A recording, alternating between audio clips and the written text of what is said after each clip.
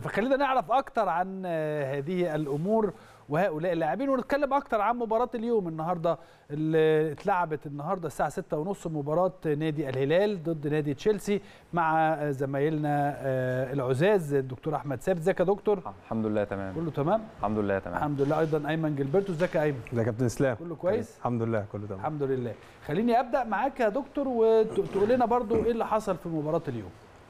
اولا والله يا كابتن إسلام أنا شايف إن يعني إحنا كفرق عربية سواء النادي آه. الأهلي أو الهلال السعودي مستوانا قريب من الفرق الأوروبية وفرق أمريكا الجنوبية.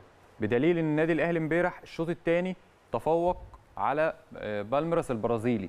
أيوه. النهارده الهلال السعودي في الشوط الثاني بيتفوق على تشيلسي الإنجليزي ولكن بيظل في فارق في حتة ال- تشتيت الذهن أو الهفوات أو بعض الأخطاء.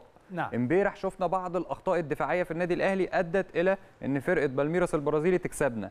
النهارده في بعض الأخطاء خطأ واحد دفاعي أدى إن فرقة تشيلسي تكسب الهلال السعودي. اذا المستويات متقاربة ولكن حتة الذهن أو الأخطاء دي لو قللناها أعتقد إن إحنا هنقرب إن شاء الله من الكرة الأوروبية وكرة ال- اللاتينية يعني بإذن الله.